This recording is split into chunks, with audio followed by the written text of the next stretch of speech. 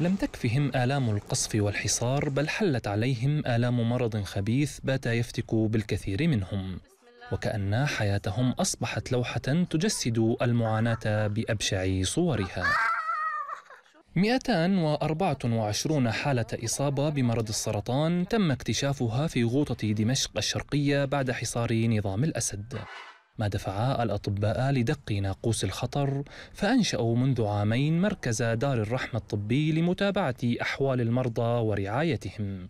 لعلهم يستطيعون بإمكانياتهم المتواضعة إنقاذ حياة أشخاص هم أحوج ما يكون لمد يد العون والمساعدة. ونحن هنا بالغوطة الشرقية رغم الحصار رغم العامل النفسي السيء رغم العامل الغذائي السيء الذي يقف عقبة بطريقنا